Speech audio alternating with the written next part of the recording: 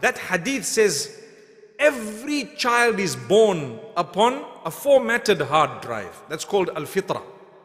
Hard drive formatted. You got a new phone, you turned it on. It asks you what language, you choose a language. It asks you what, what type of screen, you choose the screen. What size of font, you choose the font. What applications, you choose the applications, you download them. When it's new, once you've downloaded everything, your phone operates according to how the initial settings of that phone were. The same applies to a human being. Baby, born. You install the language, right? You install the habits. You install the culture. And guess what? You also install initially the religion. That's what Muhammad says.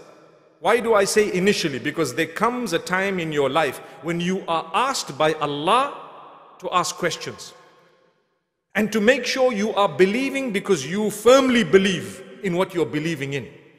Allah says, ask questions. Go find out, do your research, check, see whatever is available. Look at the religions and check what is right. Worship your maker alone. Who teaches you that? Be disciplined. Don't have bad habits, which religion teaches you that.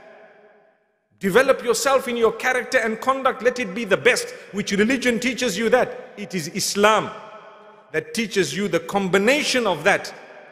And that is a gift of Allah.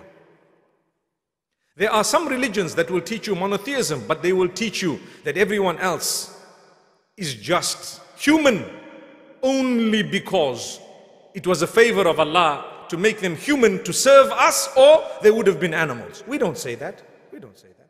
For us, we're all the same. We ask Allah to grant us goodness.